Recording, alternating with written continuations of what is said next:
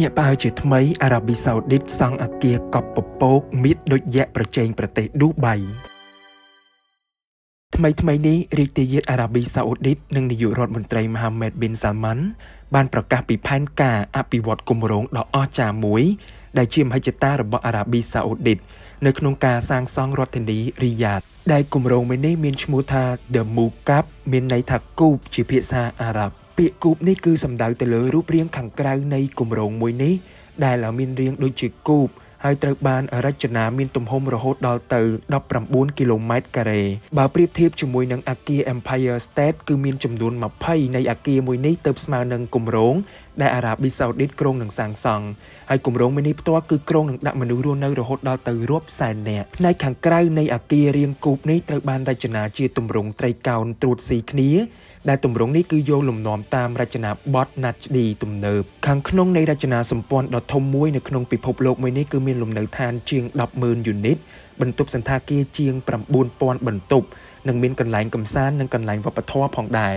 អ្វីដែលជាចំណុចពិសេសនៃខាងក្នុងអគារមួយនេះក៏គ្រោងខ្លាយទៅជាទីតាំងដ៏តាក់ទាញមួយនៅក្នុងការកំសាន្តផ្សេងផ្សេងដោយអាចដើរកំសាន្តនៅក្នុងរង្វង់15នាទីព្រមទាំងមានប្រព័ន្ធដឹកជញ្ជូនខាងក្នុងទៀតផង ហើយស្ថាបត្យកម្មនៃគម្រោងដ៏អស្ចារ្យមួយនេះគឺមិនភ្លេចនៅលក្ខណៈពិសេសដូចជាកន្លែងបៃតងផ្លូវសម្រាប់ដើរនិងការជិះកង់ព្រមទាំងមានសារមន្ទីរនិមិត្តរូបសាកលវិទ្យាល័យបច្ចេកវិទ្យានិងការរចនារោងមហោស្រពហុបំណងជាដើមគម្រោងនៃអគាររាងគូបមួយនេះដែលក្រុងនឹងបញ្ចប់នៅឆ្នាំ